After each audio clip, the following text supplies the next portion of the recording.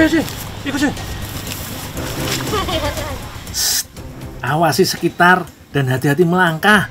Jangan sampai musuh melihat kita. Aku dan timku sudah siap dengan senjata ampuh andalan kami. Nah, kena deh. Lur, aku sedang main perang-perangan dengan bocah-bocah asal Cirebon iki.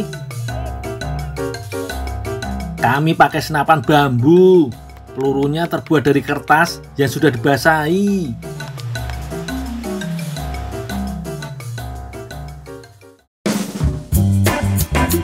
Duh, Gundul mana sih? Disuruh ambil lompong malah gak ada. Wah, Teh Nani nyariin aku. Tadi aku memang sudah janji mau bantuin panen lompong tales. Bubuknya di sini. Si Gundul mana ya?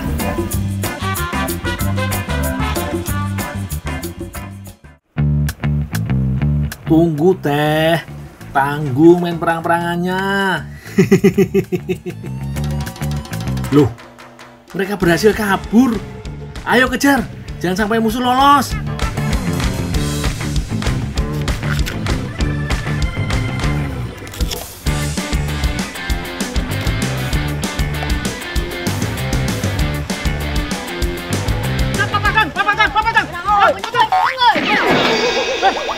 Hampur, hampur, hampur. Eh, Gi, gimana sih? Waduh, Teh Nani sampai jatuh tertabrak Egi. Oh, sakit kan? Makanya kalau lari hati-hati. Selain hati-hati juga kalau main ingat waktu. Teh, teh. Iya, teh. Dari mana aku mintain tolong ambil ini? Lompong malah main. Iya, teh. Main tembak-tembakan sama anak-anak. Habisnya sih, teteh tadi nggak bilang buru-buru. Jadi aku tinggal mainan dulu sama anak-anak. Yaudah bentar. Nih, sekarang aku minta tolong buat bersihin ya, terus direbus. Mau aku masak, jangan main-main lagi. Oh, Ini bersihin terus direbus, teh. Iya, ditunggu ya, jangan main-main lagi. Oh, iya, iya, teh. Iya, teh. Hmm. Gi, ini Gi. Ini.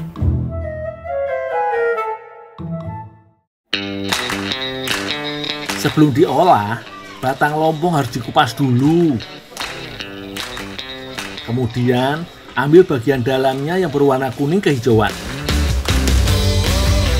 Kulitnya nggak dipakai, lur. Soalnya teksturnya liat. Nanti malah nyangkut pas dimakan.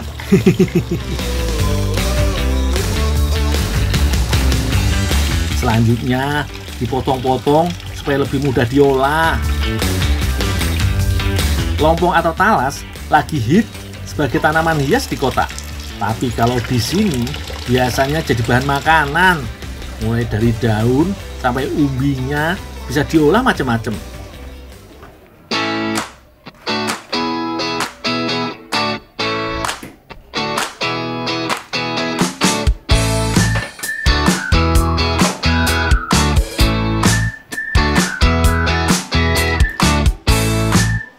Aku punya tips nih, mengolah talas supaya lebih jos dimakan lur. Teman-teman, ada tips nih gimana caranya ngolah batang talas atau keladi supaya nggak gatal ya. Sebenarnya semua jenis keladi bisa diolah, tinggal caranya masing-masing berbeda. Nah untuk keladi-keladi yang di sawah nih atau keladi-keladi hijau itu semuanya bisa diolah dengan catatan begitu dia dipanen diamkan dulu 2-3 hari supaya getahnya turun atau hilang atau direbus dengan garam supaya getahnya keluar semua dan uh, tidak gatal lagi. Mulai dicoba.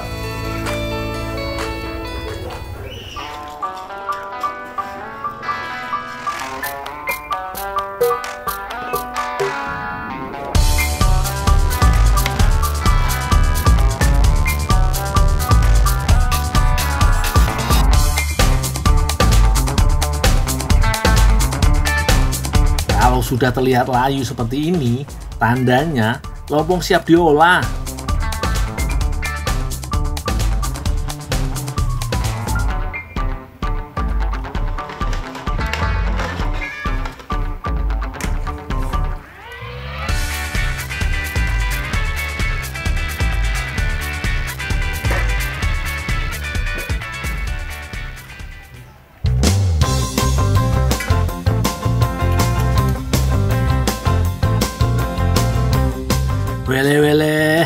aku kira lompongnya mau dibuat sayur. ternyata malah mau jadi jajanan toh. Namanya crepe cake. Haluskan mentega korslet sambil perlahan tuangkan kental manis. Aduk sampai rata, lalu tambahkan parutan keju.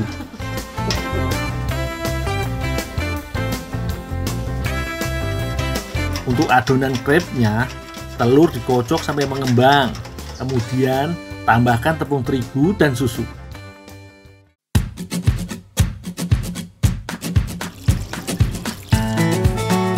Kocok lagi sampai semua bahan tercampur rata. Teh, ini teh. Udah aku cuci, udah aku rebus teh. Udah ya, mateng. Oh ya teh. Teh punten dia terus cekap. Atus. Punten apa kan? Oh iya mohon.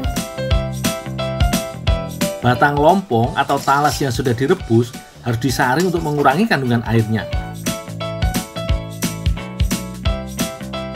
Kalau tepung terigu sudah larut, tambahkan gula halus, minyak, garam, dan vanili. Sadayana.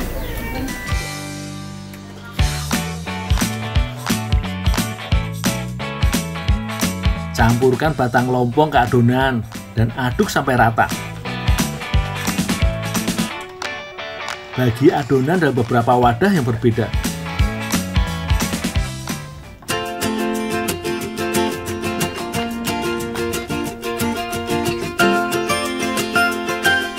Tambahkan masing-masing warna sesuai selera.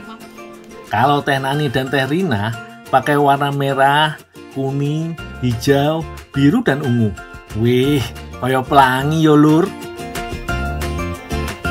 Siapkan wajan yang sudah diolesi minyak atau mentega. Tuangkan adonan satu wajan benar-benar panas.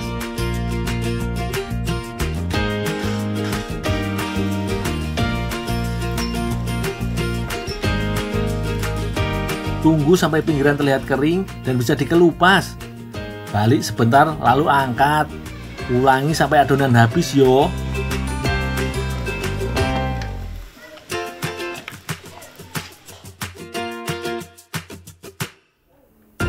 Sekarang tinggal menyusun crepe-nya.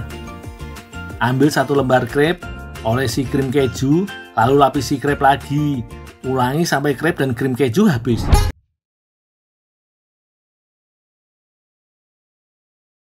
Iki yang namanya crepe cake ala Perancis dipadukan kearifan lokal.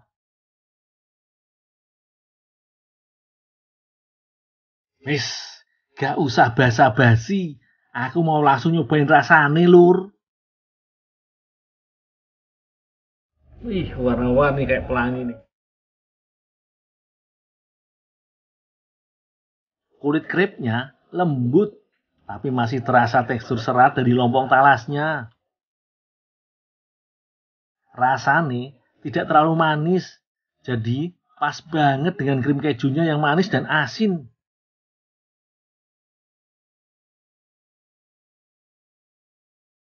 Wah, gak nyangka yo, lompong alias tales bisa dikreasikan jadi kudapan yang enak tenan.